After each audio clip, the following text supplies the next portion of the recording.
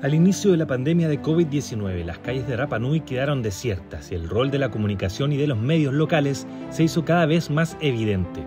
Para llegar con un mensaje claro y oportuno, fue esencial realizar un trabajo colaborativo en todas las plataformas de la isla.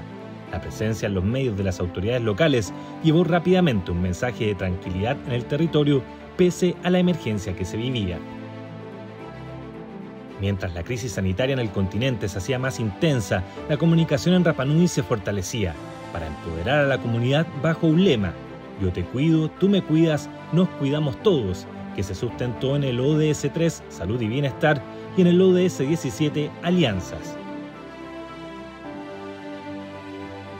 En un espacio diario en Radio Manuquena, el alcalde y el director del hospital entregaban informaciones locales relativas al COVID-19 en idioma rapanui y en español para cubrir a toda la comunidad, pueblo originario y comunidad residente.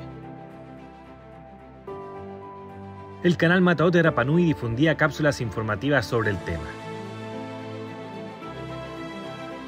Lo mismo ocurría en las redes sociales y en la fiesta Tapati, la muestra cultural más importante de Rapanui, Además, gracias al programa Proempleo, se creaba un equipo de comunicaciones al interior de la municipalidad con un solo objetivo, informar sobre el autocuidado y que nadie muriera por COVID-19.